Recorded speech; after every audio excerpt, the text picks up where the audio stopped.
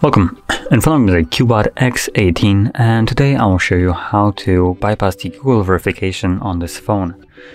Now as you can see the one that I have right here is already locked and to finish up the setup I'll need to provide the previously used Google account. Now assuming we don't know it, we can bypass this.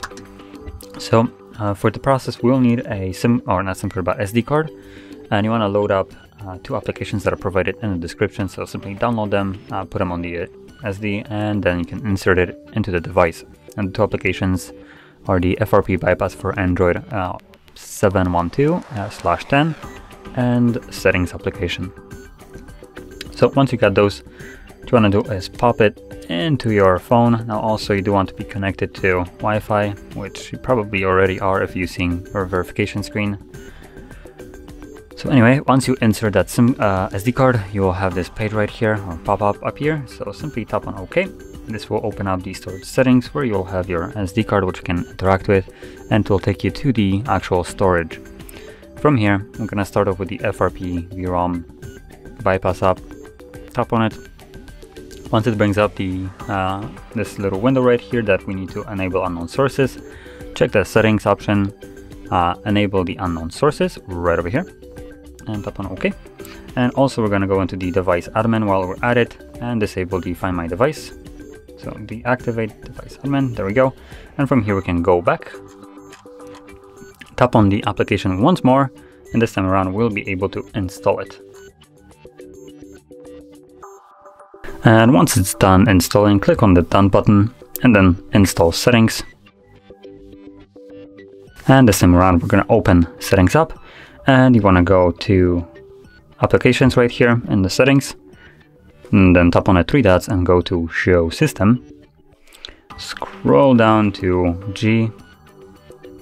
We're looking for Google Play services. So right over here. I'm gonna select it choose disable disable app and now we can go back as you can see it's disabled right here so let's go back once more and from here we're gonna scroll down to accounts right over here, select add account and choose Google.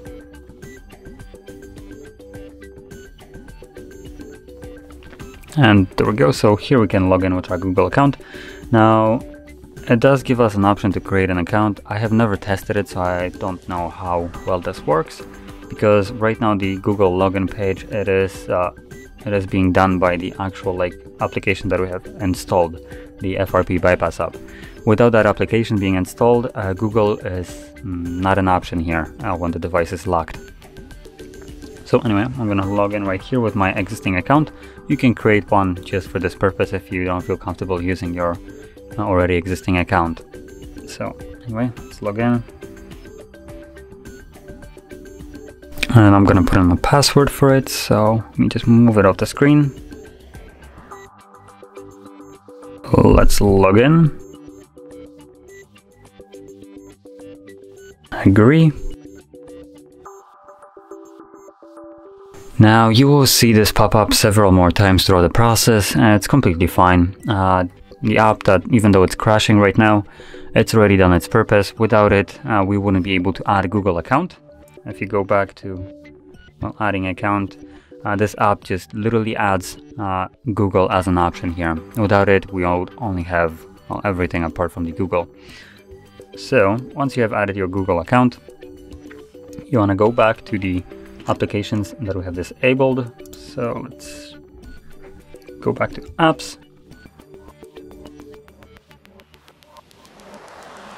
Again, let's tap on the three dots, show system, and scroll down to, whoops, a little bit too far. There we go, Google Play Services.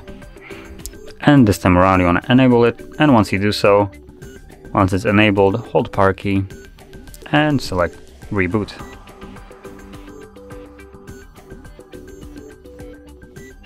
And as you can see, we're now back up. So let's go through the setup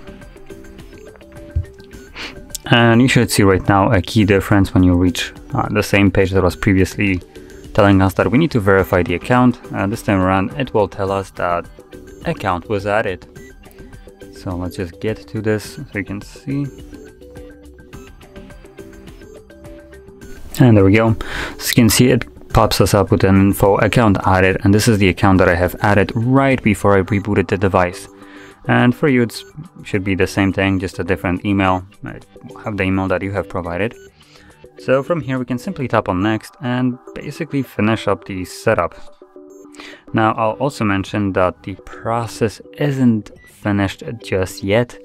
Uh, we still need to perform a factory reset of the device through settings to basically get rid of the old account because it is still on the device, it's just not showing up anymore.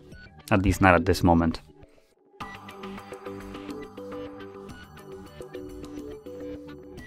Skip, skip anyway. Now, while going to the setup, I would recommend you just to skip as much as you can because it doesn't really matter what we set up right now.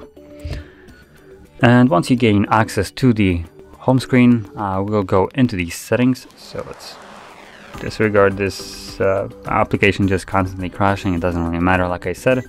So from here, let's go into the settings, scroll all the way down to backup and reset. Choose factory data reset and then reset phone erase everything and the process will now begin.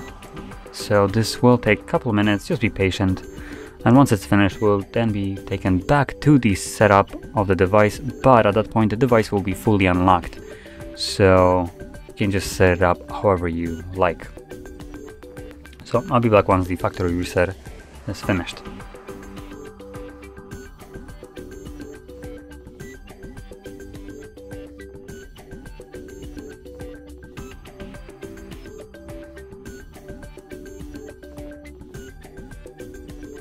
Okay, so we can see now the process has finished and now we can set up our device in whatever way we want. Now once more, I'm just gonna skip most of it, but you can probably see throughout the setup, there's gonna be a couple differences. So number one, we should be able to skip Wi-Fi connection.